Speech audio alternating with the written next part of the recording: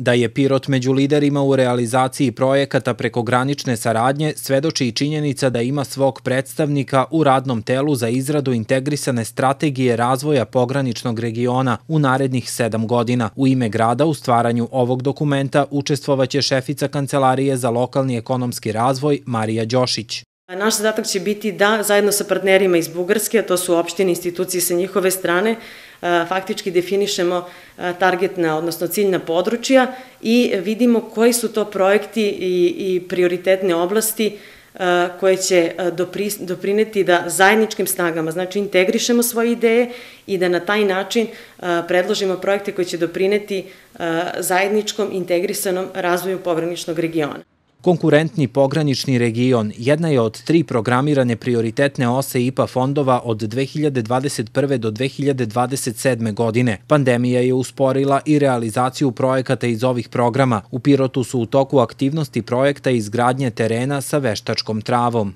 slede neke proceduralne stvari kao što su uh, javni pozivi za, za, za izvođenje ovih radova, uh, samo izvođenje radova koje će sigurno sačekati zbog vremenskih uslova ovaj, svoj trenutak, druge propratne aktivnosti, izrada nekih strategija, zatim radionice, treninzi, projekat traje 18 meseci. Kroz IPA program u Pirotu je u poslednjih desetak godina realizovano 19 projekata vrednosti više od 3 miliona evra.